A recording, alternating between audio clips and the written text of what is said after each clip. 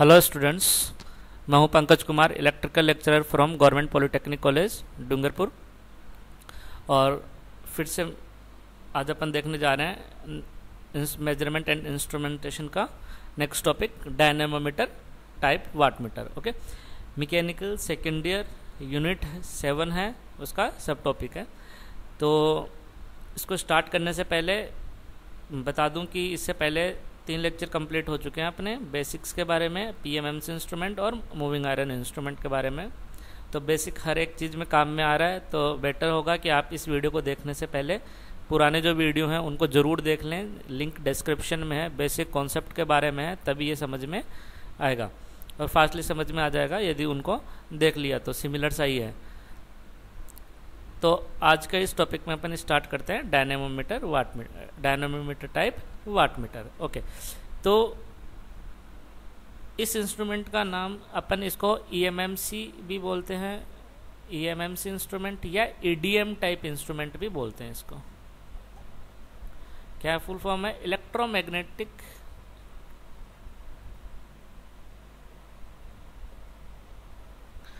electromagnetic moving coil instrument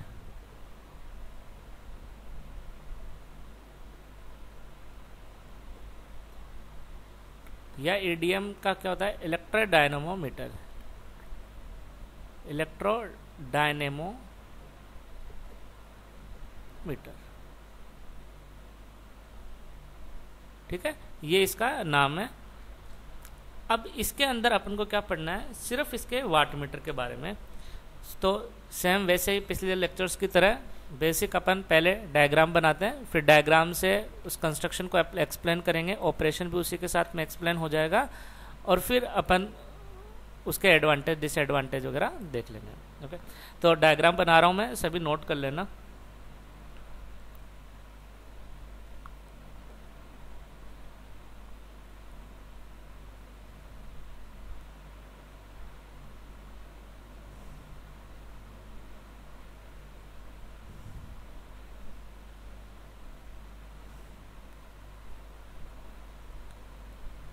कोयल बनानी है ये यहाँ पे।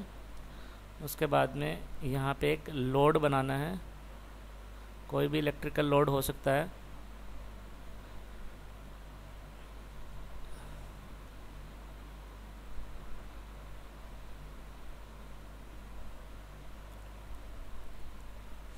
ठीक है? अब इसके बाद में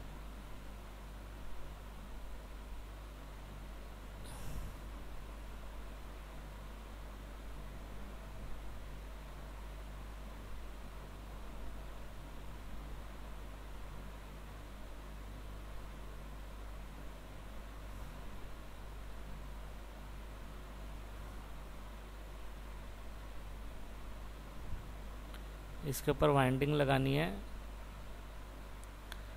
अब यहाँ से अपन को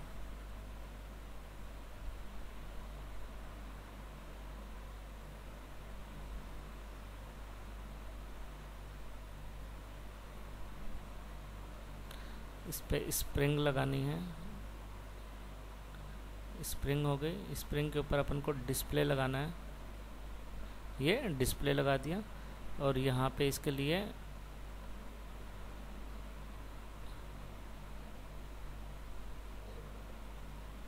ये अपना ज्वेल बेरिंग लगा दी, ताकि फ्रिक्शन वगैरह से बच सके। और इसके बाद में अपन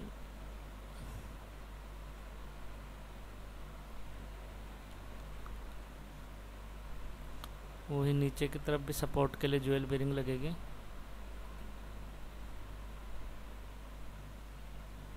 डायग्राम अच्छा बनाना आप।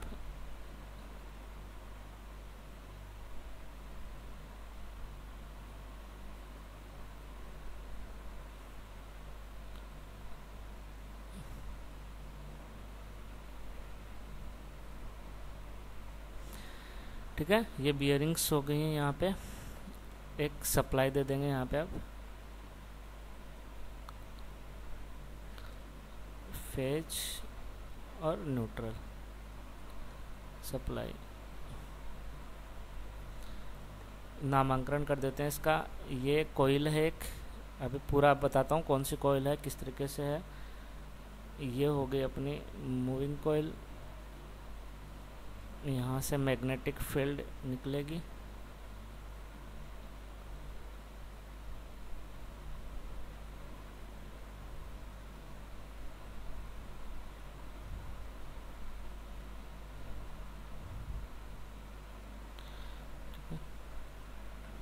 यहाँ पे भी एक स्प्रिंग अपन को लगानी पड़ेगी सप्लाई भी जाएगी। वन डेज़ और ये हो गया वन ये लोड लगा दिया अपन ने, ठीक है? ये अपना डिस्प्ले हो गया फुल स्केल डिस्प्ले तो डायग्राम कंप्लीट हो गया है। डायग्राम सब बना लो फटाफट, बन गया होगा। जिसने नहीं बनाया वो पोज करके बना लेना। अब देखना आगे का। अब एक डायग्राम को एक्सप्लेन करते हैं। ये डायग्राम बनाया अपने सप्लाई दी, यहाँ पे ये कोयल है। इसका नाम लिखा हुआ है एफ़ सी मतलब फिक्स्ड कोयल है ये। फिक्स्ड कोयल एक कोयल होती है फिक्स्ड कोयल जिसको दो पार्ट में, सब पार्ट में डिवाइड किया गया एक पार्ट इधर की तरफ़ है, एक पार्ट इधर की तरफ़ है। क्यों है? इस तरीके से कि जो फ्लक्स जनरेट होगा इस फिक्स कोयल की वजह से वो सिमेट्रिकल जनरेट हो। यहाँ पे भी हाफ़ पोर्शन यहाँ पे भी हाफ़ पोर्शन है तो ये कोई यहाँ से जो, ये एक ही कोयल है बट इसको दो पार्ट में डिवाइड किया गया है। ताकि यहाँ से क्या होगा कि जो फ्लक्स निकलेगा इससे और इससे दोनों से सिमेट्रिकल फ्लक्स निकलेगा। और इसके बीच में ये एक मूविंग कोयल होती है। तो फिक्स इस फ्लक्स के बीच में जब मूविंग कोयल रखी रहेगी यहाँ पे क्यों, इसके अंदर करंट फ्लो होगी तो एक फोर्स लगेगा फोर्स लगेगा तो ये मूव करेगी। इसलिए इस कोयल को क्या नाम देते हैं अपन? मूविंग कोयल बोलते हैं। और इसके ऊपर जो डिस्प्ले के लिए निडी लगी हुई है टॉर्क जनरेट होने की वजह से ये फुल स्केल डिस्प्ले के ऊपर एक डिफ्लेक्टिंग टॉर्क जनरेट होगा। कौन सा? डिफ्लेक्टिंग टॉर्क जनरेट होगा। और जो मशीन जो तो कौन सी किसकी वजह से हो रहा है? ये जो अपना डिफ्लेक्टिंग टॉर्क है वो जनरेट किस वजह से हो रहा है? अपनी इलेक्ट्रोमैग्नेट की वजह से। इसको कंट्रोल करने के लिए एक कंट्रोलिंग टॉर्क लगेगा, इसके अपोजिट डायरेक्शन में। कंट्रोलिंग टॉर्क अपोजिट डायरेक्शन में लग रहा है और कंट्रोलिंग टॉर्क किसकी वजह से लग रहा है? स्प्रिंग की वजह से लग रहा है, जैसे कि पहले बताया था। यहाँ पे फ्रिक्शन और एरर वगैरह कम हो, इसलिए यहाँ पे ये ज्वेल बेरिंग लगी हुई है। ओके तो अब इसके अंदर लिख ले, ये इसका कंस्ट्रक्शन हो गया है। किस तरीके से है कंस्ट्रक्शन अब इसके अंदर टर्म्स लिख लेते हैं एफ़ सी क्या है? फिक्स्ड कोयल है ये, ठीक है? सर इससे पहले एक लाइन और कि ये जो काम करता है, ये वाटमीटर जो डायनामोमीटर इंस्ट्रूमेंट है वो किस प्रिंसिपल पे काम करता है? ये म्यूचुअल इंडक्टेंस के प्रिंसिपल पे काम करता है। क्यों? क्योंकि यहाँ पे दो तरह की दो तरह की कोयल है। एक फिक्स्ड कोयल है और एक मूविंग कोयल है। तो फिक्स्ड कोयल और जब दो कोयल हो जाती हैं कहीं पर भी दो इंडक्टेंस हो जाते हैं तो इन दोनों के बीच में एक म्यूचुअल इंडक्टेंस जनरेट हो जाता है। इतना ध्यान में नहीं रहे सिर्फ़ इतना ध्यान में रखना आप, आप तो कि जो डायनामोमीटर वाटमीटर है वो किस प्रिंसिपल पे काम करता है? चेंज इन म्यूचुअल इंडक्टेंस तो यहाँ पे लिख लो प्रिंसिपल प्रिंसिपल इसका works on change in mutual inductance change in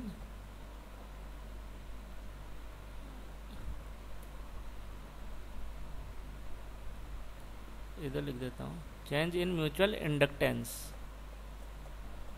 coil का इंडक्टेंस ही तो होता है ना? तो चेंज इन म्यूचुअल इंडक्टेंस अब इसमें दो तरह की कोयल होते हैं. It consist of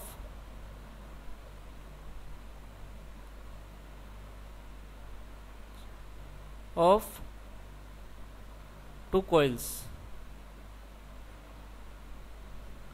two coils का कंसिस्ट से मिलकर बना होता है. कौन सी होती है? एक तो होती है फिक्स्ड कोयल ठीक है? एक होती है फिक्स्ड कोयल इसको करंट कोयल भी बोलते हैं. ठीक है?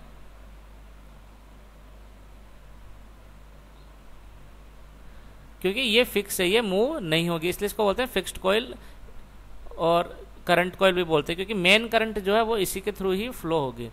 दूसरी जो करंट कोयल है, उसको क्या बोलते हैं? मूविंग कोयल और इसको पोटेंशियल कोयल भी बोलते हैं, या प्रेशर कोयल भी बोलते हैं। पोटेंशियल या प्रेशर कोयल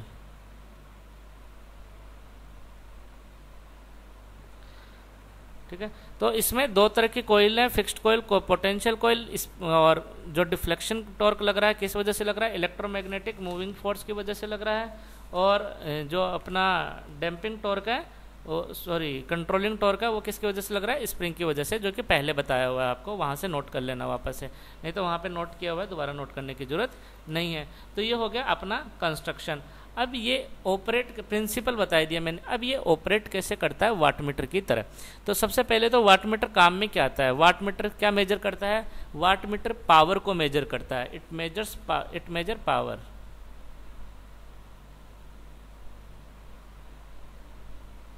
क्योंकि पावर की यूनिट होती है वाट तो इसको कहते हैं वाट मीटर इस इंस्ट्रूमेंट को यूज़ करके अपन एमीटर और वोल्टमीटर भी बना सकते हैं। फिक्स्ड कोयल और मूविंग कोयल को इस तरीके से कनेक्ट करेंगे कि ये एमीटर और वोल्टमीटर की तरफ़ भी काम में आ सकता है। लेकिन अपन को वो नहीं देखना है, अपन को सिर्फ़ और सिर्फ़ वाटमीटर की देखना है। तो अब ये जो इंस्ट्रूमेंट है, इसको एक सिंप्लीफाइड डायग्राम यदि अपन बनाए इसका, जैसे कि अपन हर एक चैप्टर में बनाते हैं सिंप्लीफाइड डायग्राम तो इसका यदि वाट एज ए वाटमीटर जब इसको यूज़ करेंगे तो इसका सिंप्लीफाइड डायग्राम क्या होगा?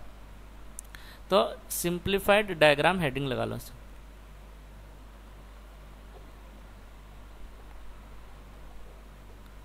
सिंप्लीफाइड डायग्राम के अंदर क्या होगा कि फिक्स्ड कॉइल है, वो एक जगह आ जाएगी।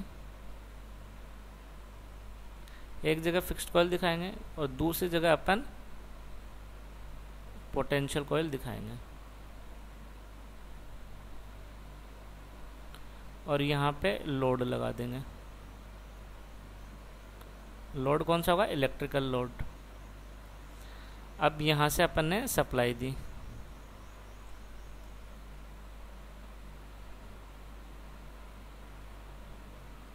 फ़ेज़ और न्यूट्रल, ये सप्लाई दे दी मैंने। जो फिक्स्ड कॉयल थी, उनको दोनों पार्ट को जोड़ के दिखा दिया मैंने। यहाँ पे ये हो गई फिक्स्ड कोयल और ये जो मूविंग कॉयल थी, उसको यहाँ पे दिखा दिया। ये टर्मिनल होते हैं कुछ, ये इंटरनली कनेक्टेड होते हैं वाटमीटर के अंदर आपस में। एम इसको बोलते हैं एम टर्मिनल इसको सी टर्मिनल इसको एल टर्मिनल और इसको वी टर्मिनल इसको ध्यान रखना, क्योंकि जब भी वाट मीटर तुम देखोगे तो उसमें तुम्हें दिखाई देंगे ये टर्मिनल ये तो इसकी इंपॉर्टेंस पता होनी चाहिए तुम्हें कि इसका मतलब क्या है। एम और सी के बीच में एक कोयल ऑलरेडी इंटरनली कनेक्टेड होती है और सी और वी के बीच में भी एक कोयल इंटरनली कनेक्ट होती है। एम और सी को शॉर्ट करना होता है अपन को बाहर से और एल को लोड के साथ कनेक्ट करना होता है और वी को सप्लाई के इस दर न्यूट्रल के साथ में कॉमन में कनेक्ट करना होता है। तो इन टर्मिनल के नाम लिख लो। एम का मतलब होता है मेन टर्मिनल सी का मतलब होता है कॉमन टर्मिनल एल का मतलब होता है लोड टर्मिनल वी का मतलब होता है वोल्टेज टर्मिनल ठीक है, ये टर्मिनल हो गया। सिंप्लीफाइड डायग्राम हो गया अपन को। इस तरीके से सर्किट जब बना दिखाते हैं वाट मीटर को तो इस तरीके का सर्किट बना के दिखाते हैं। तो इससे अपनी जो रीडिंग आएगी वो किसकी आएगी? पावर की आएगी, वो क्या चीज़ है? इसलिए इसको बोलते हैं वाट मीटर ठीक है। अब इसके देख लेते हैं एडवांटेज और डिसएडवांटेज सिंपल से एडवांटेज हैं, वो देख लेते हैं, ज़्यादा डेफ्थ वाले एडवांटेज नहीं देखेंगे सॉरी पहले एडवांटेज देख लेते हैं।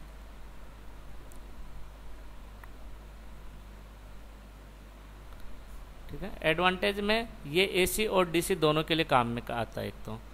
Works for both AC and DC ठीक है?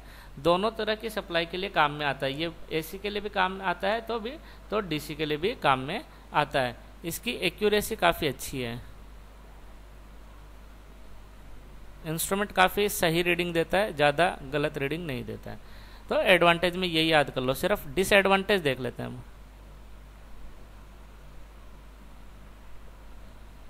सबसे पहला disadvantage main non uniform scale ठीक है? नॉन यूनिफॉर्म मूविंग आयरन में बताया था मैंने नॉन यूनिफॉर्म का मतलब क्या होता है? नॉन यूनिफॉर्म स्केल है। दूसरा इलेक्ट्रोमैग्नेट है तो वी, वीक इलेक्ट्रोमैग्नेट है तो weak very weak operating field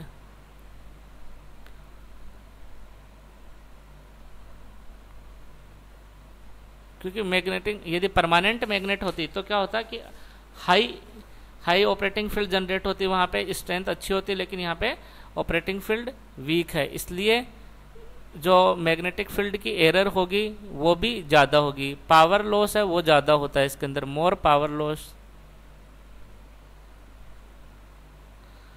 Inter, power consumption ज़्यादा होता है, more power consumption.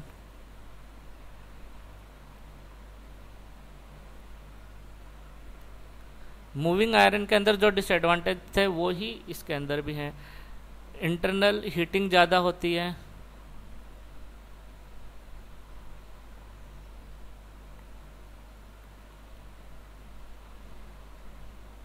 Internal heating ज़्यादा होती है इसके अंदर।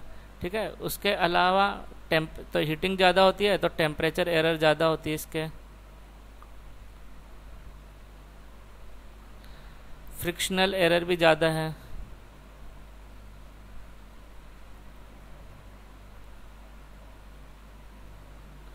ठीक है? तो ये मेन मेन है। इनको याद रखना डिसएडवांटेज को और एडवांटेज को भी, क्योंकि काफ़ी काम में आता है ये एडवांटेज और डिसएडवांटेज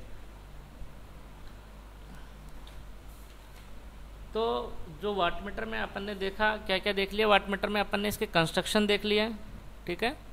इसका जो डायग्राम कंस्ट्रक्शन में हर जो भी पार्ट यूज़ में आ रहे हैं उन सबको देख लिया, अपन ने एक्सप्लेन कर लिया किस प्रिंसिपल पे काम में आता है।